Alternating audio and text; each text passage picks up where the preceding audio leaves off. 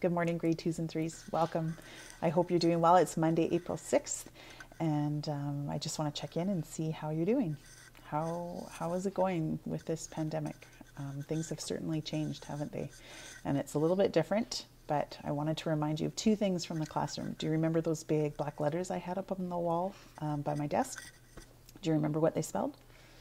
Persevere. Just keep that in mind. Persevere. You can do hard things and we can do hard things together. So we've got this. Just take some time, give yourself some grace. Learning takes patience and time, so keep that in mind as we go forward this week with our learning from home. Um, hopefully, you are all able to get onto Lexia and Fresh Grade no problem so that you can watch this video and see what I have planned for you today. We're going to start slow, so just two things today that I wanted you to try and see if you could finish. One of them is with your spelling words. So you'll see you have a folder in Fresh Grade with your spelling words for the week, and I've put more spelling words in there than what you typically were working on at school because these words all follow a spelling pattern. So once you figure out really how to spell one word really well, then you can use that knowledge to help with the other words that belong in that same category. So there's some spelling words for you to practice throughout the whole week. So you can do some of the games that we did from the classroom, or if you're by yourself, you can do um, window writing, table writing if your parents or families have dry erase markers. You can do um, write in sand outside with a stick if you wanted to to practice your spelling words.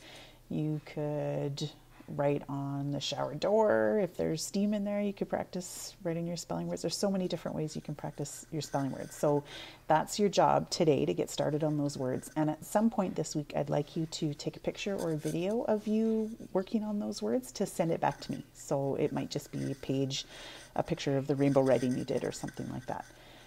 Job number two, I have another folder with a read aloud. So the book today is um, How Do Dinosaurs Learn to Read?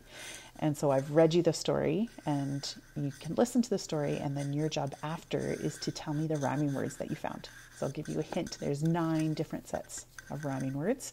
So see if you can find them.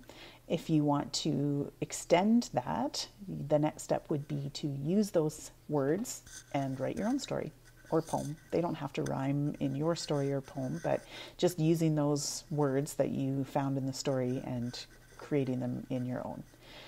So that's it for today.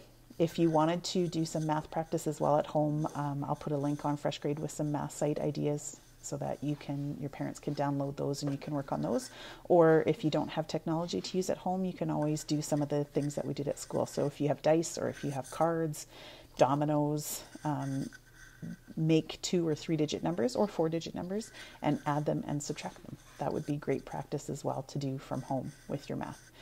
So please let me know how it goes today. Hopefully you can fit this in. Don't forget you do have Lexia you can access from home too. So you could do a 15 minute session of Lexia today and then outside go outside and do something fun. I am still going to do Thursday treks with you, so I'll take the iPad with me where I go on Thursday and post a video or a picture so you can see that I'm still taking some time for myself outside too. So, outside goal today would just be to spend some time out in the fresh air. Hopefully, you're doing that already. Okay, take care. We'll talk to you soon. Bye.